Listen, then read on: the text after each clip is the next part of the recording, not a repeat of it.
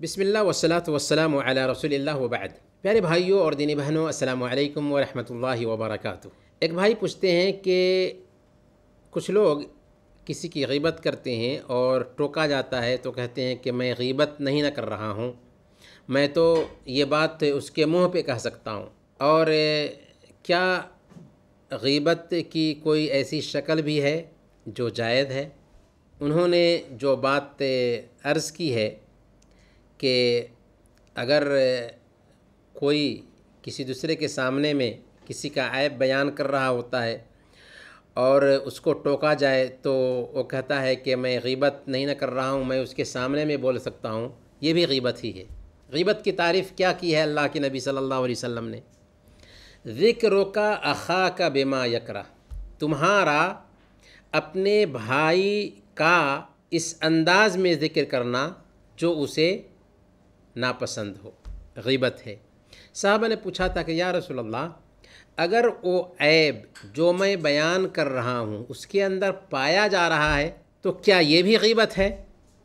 تو اللہ کے نبی صلی اللہ علیہ وسلم نے فرمایا، یہی تو غیبت ہے۔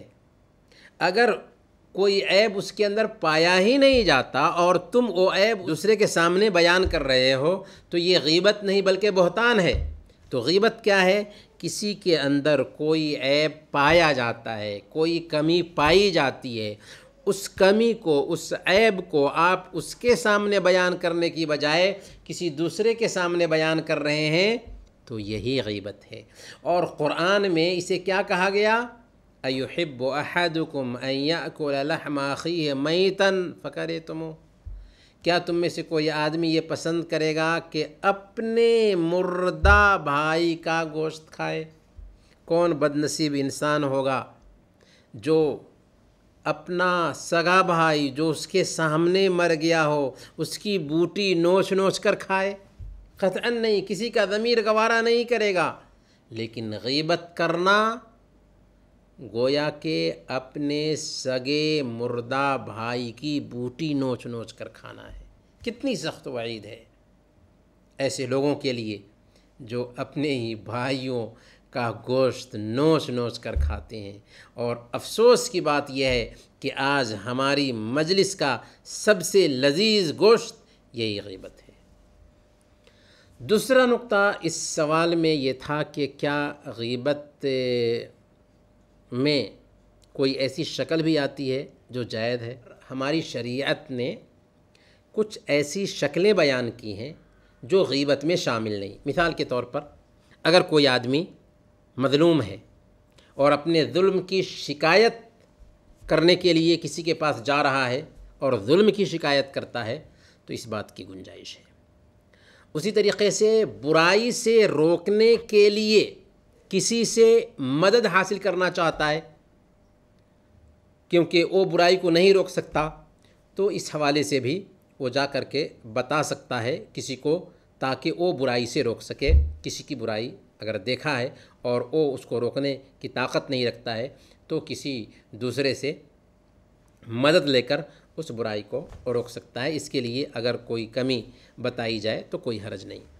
اسی طریقے سے فتویٰ پوچھنے کے لیے بھی اس بات کی گنجائش پائی جاتی ہے کہ کسی کے عیب کو بیان کیا جائے تاکہ صحیح صحیح فتویٰ دیا جا سکے۔ مسلمانوں کو کسی کی برائی سے اگر ڈرانا مقصود ہو تو اس حالت میں بھی اس کی غیبت کی جا سکتی ہے۔ اسی طریقے سے کوئی کھلم کھلا برائی کا ارتکاب کر رہا ہو تو ایسے انسان کے عیب کو بھی بیان کیا جا سکتا ہے۔ ایک دلیل میں آپ کے سامنے رکھتا ہوں۔